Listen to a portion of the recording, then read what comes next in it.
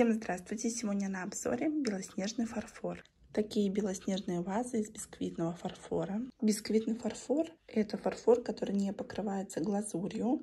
Поверхность такая нежная, бархатная. На этой вазе выполнены цветочные сюжеты. Такие выпуклые листочки. И, наверное, это такие одуванчики. Внутри каждого бисквитного изделия присутствует глазурь. Высота этой вазы 19 сантиметров. Вся ваза покрыта вот этой растительностью. Это все выпуклое, роскошная и необычная форма. Все вазы индивидуальные. Каждый листочек. Все это выполнено вручную. Достаточно медленный процесс, когда дело касается бисквитного фарфора. По клейму это Кайзер, бывший Алька Кунст. И здесь собран фарфор немецкий. Все вазы авторские, на каждой есть номер и подпись художника. Такая ваза есть в наличии, поэтому если вас заинтересовала, то пишите мне на WhatsApp. Просто хочется рассматривать и ничего не говорить. Следующая ваза даже в кадр не помещается. По высоте она 32 сантиметра. Каждая ваза это произведение искусства, разные формы, узор, рисунок. Белоснежные розы на белоснежном фарфоре.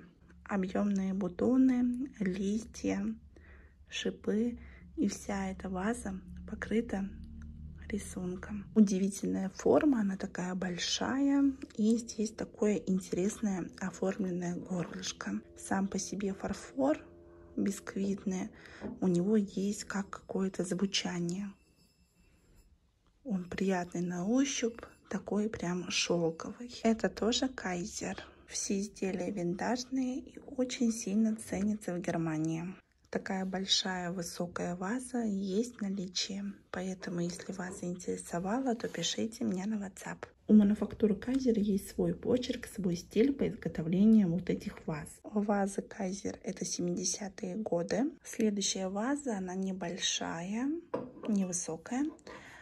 Каждая ваза это как произведение искусства. Идея заключается в самой форме и в самом изображении рисунка. Такие вазы считаются редкими предметами. Мне присылали их из Германии. Снаружи все матовое, бисквитное, внутри глазурь. Это уже другая мануфактура, Генрих. На 50-е годы номерные знаки, подписи автора. Это дизайнерские работы. Выпуклая такая ромашка, цветок очень деликатно и благородно выглядит. Рисунок этот выполнен с двух сторон. Такая вазочка по высоте 12 сантиметров. Это ваза для каких-то небольших букетов. Но мне кажется, что ее еще очень прекрасно использовать для сервировок, как салфетницу. Все они изысканные. И вот этот чистый светлый фарфор, белоснежный, придает изделию благородство. Поэтому, если вас заинтересовало, то пишите мне на WhatsApp. Следующая ваза уже от мануфактуры Шуман. Такой клеймо ставила в 60-е, 70-е годы. Бисквитный фарфор Германии даже там ценится и стоит достаточно дорого. Здесь уже выполнен немного другой сюжет. Объемные птички. Они с двух сторон, такие рельефные. Все это как на таком фоне скомканной бумаги шикарно выглядит. И здесь вставка горлышка уже добавлением глазури. Все остальное бисквит. Шикарное исполнение, изысканное изделие, ваза как воздушный зефир, облачный и необычайно красивый фарфор.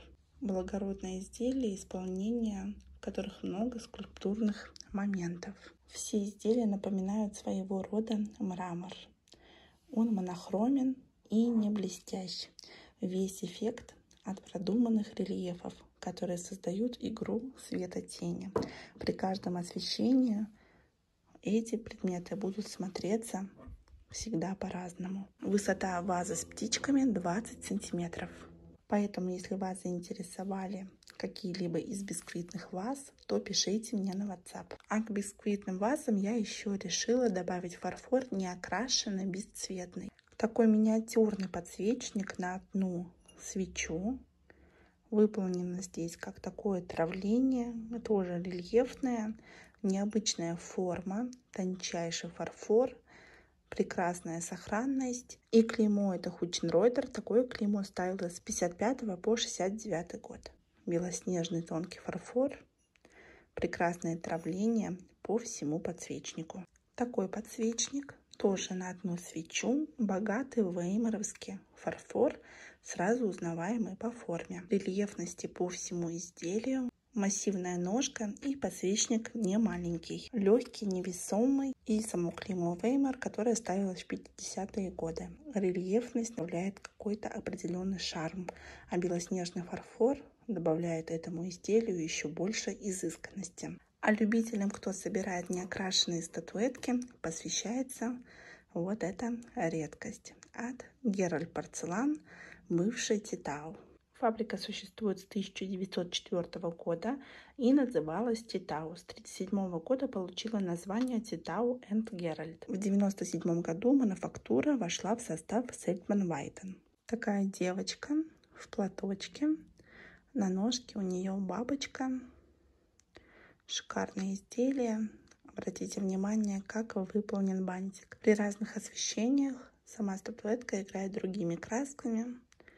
Даже появляется выражение девочки. Детская тема, само клеймо, Герат Порцелан и есть также номерной знак. Удивительная работа. У нас такое впервые. Все статуэтки в идеальной сохранности, без колов и трещин тонкое, шикарное изделие.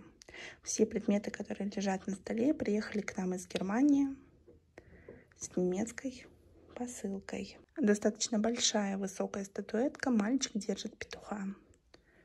Очень роскошно выполнена, скульптурно. Главное, конечно же, немецкий фарфор всегда отличается каким-либо качеством. Изделия немецких мануфактур очень роскошная. Кто собирает детскую тему, это прекрасная вещь в вашу коллекцию. Роскошь. Номерной знак и сам мальчуган. Какие рельефы, объемы. Именно на белоснежном фарфоре эти рельефы очень сильно бросаются в глаза. Если вас заинтересовали, то пишите мне на WhatsApp. Эти прекрасные мальчик с девочкой можно взять также вместе и попредметно. Одна и та же мануфактура. Из чисто белого фарфора обнаружила еще такую вот прекрасную сахарницу небольшую. Такая же рельефность, и она прекрасно сочетается вот с этим подсвечником. У них даже одинаковая вот эта рельефность. Крышечка. По самому краю выполнены вот эти штрижочки объемные. Все в идеальной сохранности. Белоснежный тонкий фарфор, абсолютно невесомый. И по бокам выполнены вот эти рельефы. Такой клеймо ставилось с 29 по 72 год. Шикарное изделие, прекрасная сахарница. Она небольшая, очень легкая и роскошная, ни к чему не обязывающая. Эти предметы объединяют в себе красоту, чистоту и благородство. А самое главное, изящество которое можно абсолютно спокойно сочетать с другим фарфором, даже цветным. Поэтому, если вас что-либо заинтересовало с этого ролика, то пишите мне на WhatsApp. Все предметы, которые я сегодня показала, они есть в наличии. Собирайте хорошие вещи, хорошие предметы и, конечно же, цените то, что у вас есть. Спасибо вам большое за просмотр. Всего доброго. До встречи.